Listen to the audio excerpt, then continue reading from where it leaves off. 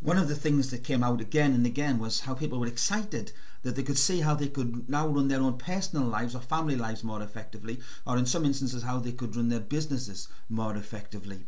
And in other cases, how they could actually have an advantage. They would be the first, for example, to special offers, or in terms of business support, they would be able to reduce their costs to give them a competitive edge.